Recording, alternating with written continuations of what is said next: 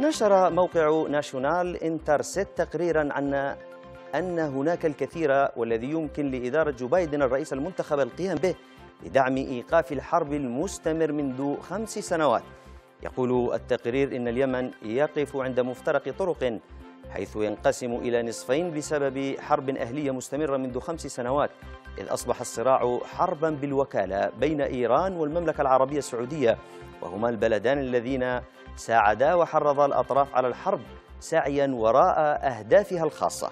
وبحسب التقرير فإن التوصل إلى حل سلمي للحرب الأهلية في اليمن لن يتطلب بالضرورة مشاركة أمريكية مباشرة بل بالإمكان دعم الأمم المتحدة ومبعوثها الخاص إلى اليمن.